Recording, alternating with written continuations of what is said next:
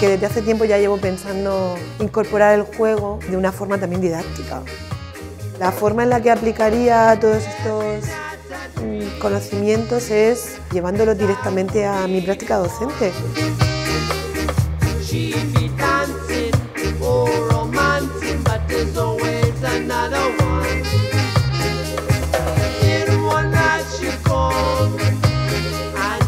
He podido visualizar a mis alumnos en la clase jugando. Pienso que el aprendizaje basado en el juego es muy motivador.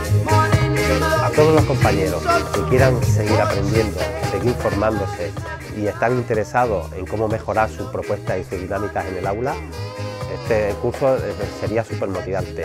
Actualmente yo ya lo estoy aplicando dentro del aula.